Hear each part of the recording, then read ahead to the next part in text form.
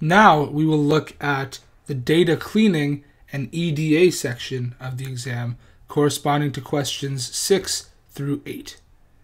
So number 6 was all multiple choice. Um, not multiple choice, sorry, it was all true or false. The first part is true or false. Exploratory data analysis is the process of testing key hypotheses, and that's false.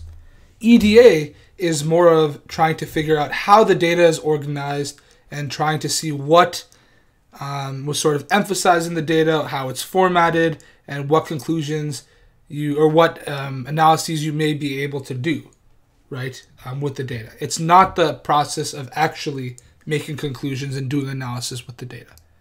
Okay, so that one's false.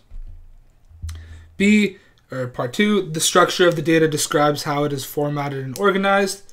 That's exactly right, because, for example, if you're given a CSV file or a JSON or XML file, which in fall 2018 we'll talk about later in the course, that sort of tells us um, the relations that are sort of given in the data. If we're given all of the data for a certain category, or if we're given all the data for certain restaurants, so on and so forth.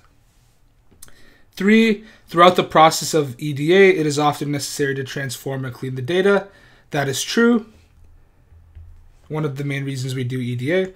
And four, during the data cleaning process, it is generally a good idea to drop records that contain missing values.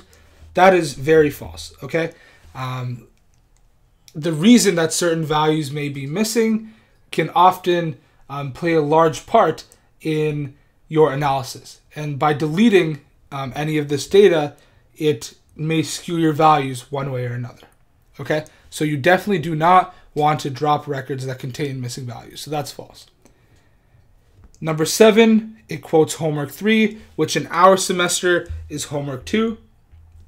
And it quotes the plot of weekday and weekend patterns for both casual and registered writers.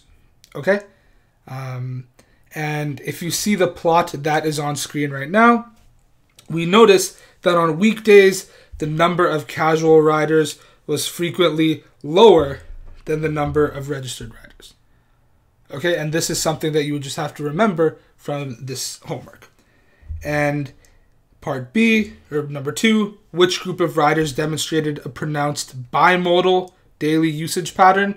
Again, from the diagram, you see that around 7 or 8 o'clock and around, let's say, about 5 o'clock in the afternoon, there were two peaks for the registered riders, whereas the casual riders, um, there was only one sort of peak. So for the registered riders, um, they sort of had a bimodal usage pattern. And in number eight, we're given the following snippet of code. Um, it sort of gives us um, some sort of file, and we need to answer questions about it. So one, which of the following best describes the format, raw text, tab separated values, comma separated values, and JSON.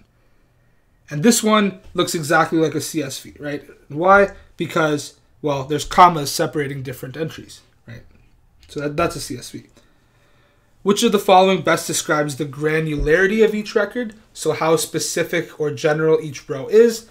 Well, looking at it, it seems like the names are the names of specific restaurants, okay? Um, the reason it's not restaurant chains is because, for example, for the best food, there's multiple rows, but there's different um, addresses. So it probably tells us different locations um, as opposed to um, companies as a whole. So for this one, it's individual restaurant locations. For three, we need to select all true statements. Does the available data like does it indicate that business id is a primary key? Let's look. Well what else could be a primary key? Okay? Well um, it seems like the phone number is repeated on two different rows so it can't be that. Um, it seems like some entries don't have an address so it can't be that. Um, some entries have the same name so it can't be that.